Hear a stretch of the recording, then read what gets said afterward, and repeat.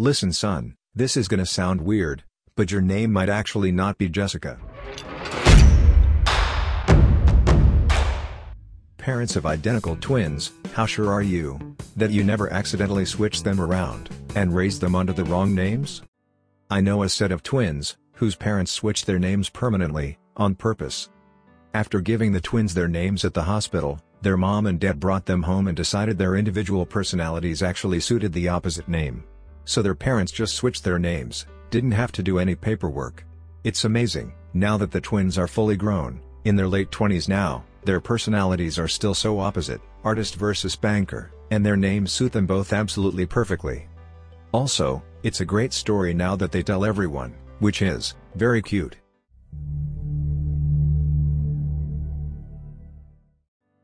Parent of twins here. When they were first born in the hospital, literally a few hours old, they were in little cots with their name tags above their heads. Someone opened a door too fast and the breeze knocked both tags to the ground. I picked the tags up and couldn't remember which was which so, I just guessed. No one else needs to know. Especially not their mother.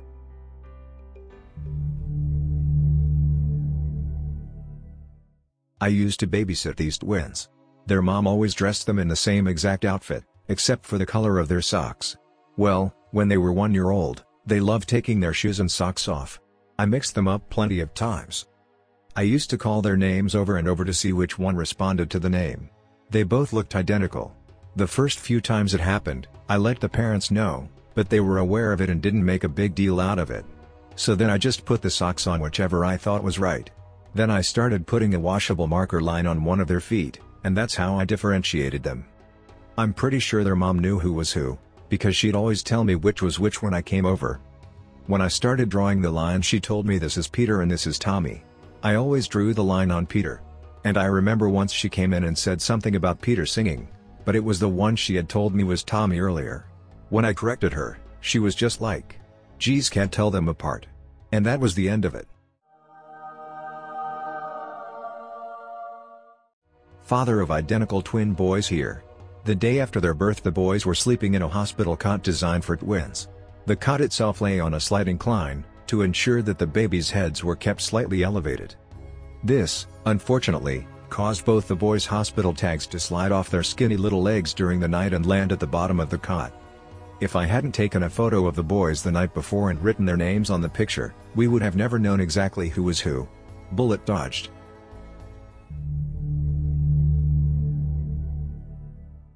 Have twins, now 4 years old.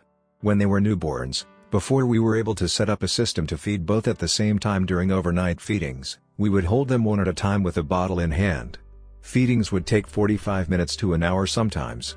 Anyway, in my sleep-deprived stupor, I fed one kid, put him down, grabbed the other bottle and forgot which kid I had fed. Pretty sure one kid got fed twice a couple times while the other did not eat. I read something once where a father asked advice about getting one baby tattooed to tell them apart, but they were still tiny infants. One had a very serious heart condition and one didn't. If the one with the condition missed his meds it could kill him. If the one that didn't have the condition was given the meds, he could actually die too. He was asking for advice because they had spent a significant time in the ER recently, when the meds were accidentally given to the wrong baby.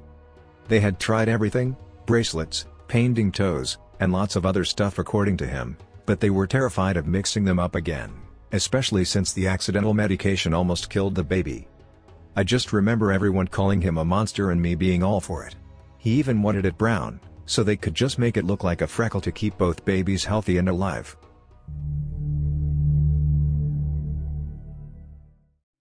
I don't have twins, but I'm a midwife. Medication errors in twins is one of my biggest fears. I work in a pharmacy and we had a prescription come in for a Brianna last name. We only had a profile for Gianna last name. Same date of birth, same address, and the names sound similar so we thought maybe the office got the name wrong. So we fill it under Gianna and put a lock on it to clarify when the patient comes in.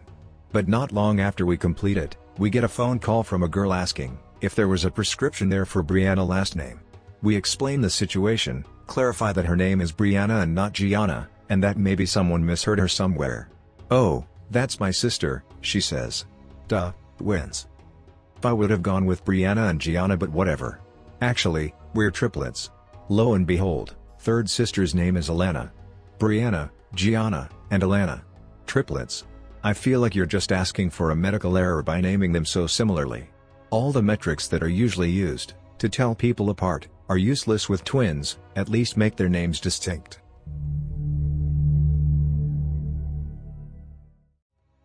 I know someone with identical triplets. She said this was her absolute biggest, all-consuming fear. They kept the hospital bands on as long as possible, and then used colored sharpies. They also kept one of each baby's feet color-coded. The third baby has always been considerably smaller though, so she is easy to tell apart, she got less placenta or something. The other two though are completely interchangeable. She said they did the color coding thing for the first few years, until the kids knew who they were and could tell each other apart.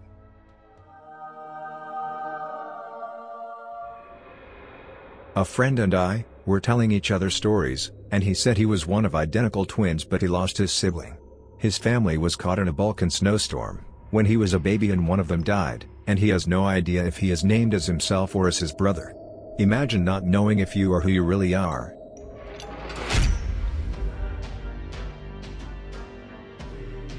Thank you for watching Royal AI. Be sure to subscribe and hit the notification bell to receive future episodes. Share your experience in the comments, or tell us what you think of these stories.